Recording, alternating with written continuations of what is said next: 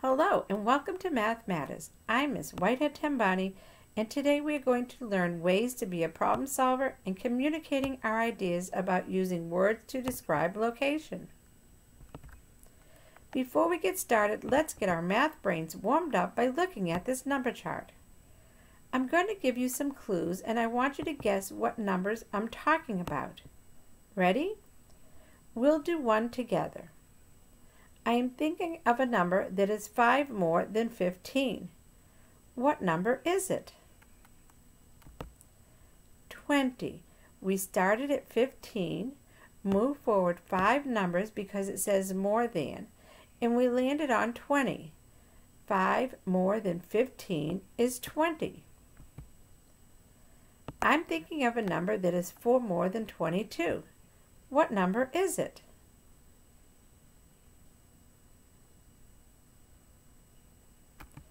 Right, 26. We started at 22 and moved forward four numbers and landed on 26. 4 more than 22 is 26.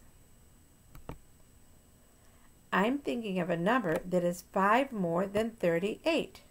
What is it?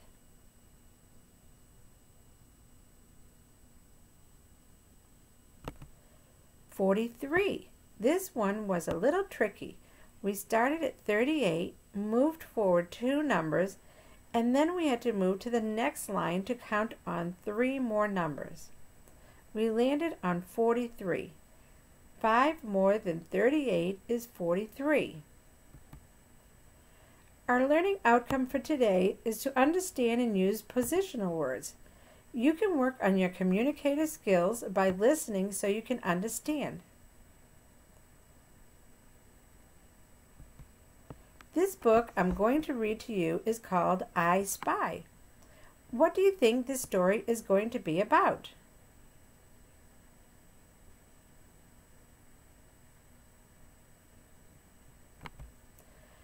I wonder what things I can spy when I use this big pair of eyes called binoculars. They help you see things that are far away. If you look at the picture, where do you think they are?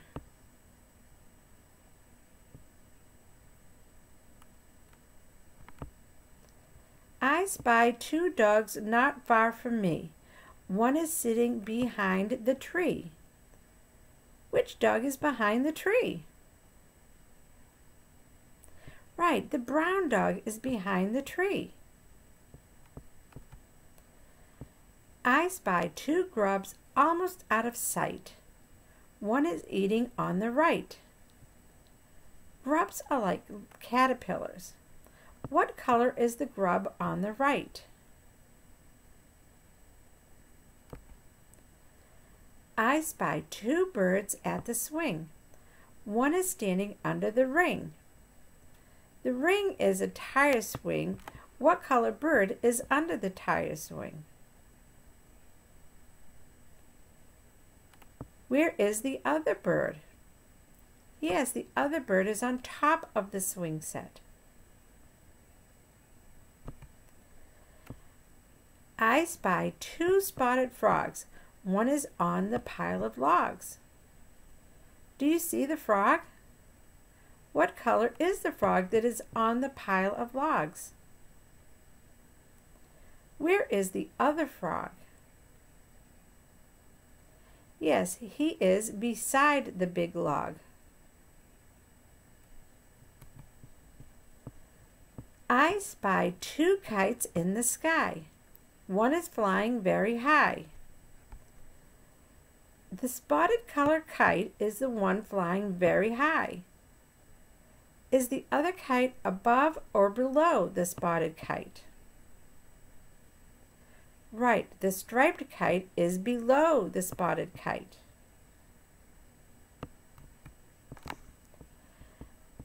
I spy two kittens near the rocks. One is still inside the box. I wonder why he's hiding in the box. Is the other kitten behind the rocks or in front of the rocks? Yes, it's in front of the rocks. I spy two cute and cuddly pups. Which one is on the end that is up? Do you know what the pups are playing on? This is a seesaw. It goes up and down when the pup that is down pushes off the ground. The seesaw goes up and down. I love playing I Spy. You can use any picture to play I Spy. Here is a picture of a playground that I found. I spy something beside the swings. What is it?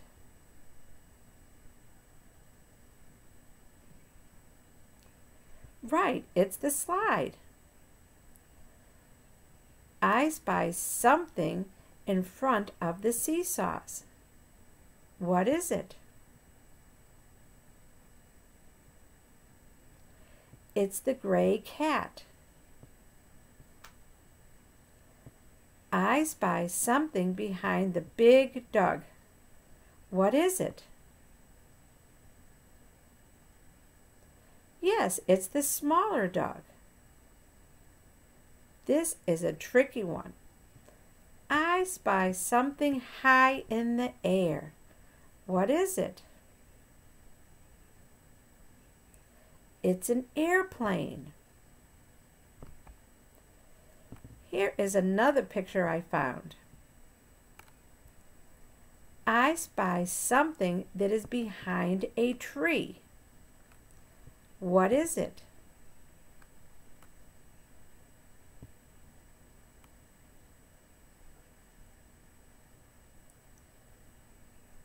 The bunny. I spy something on top of the gray bunny in the front.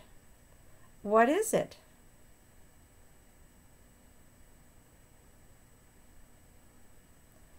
It's his hat. I spy something next to the tree that is black and white. What is it?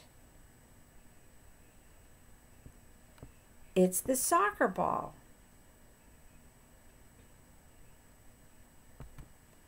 Let's reflect on our learning.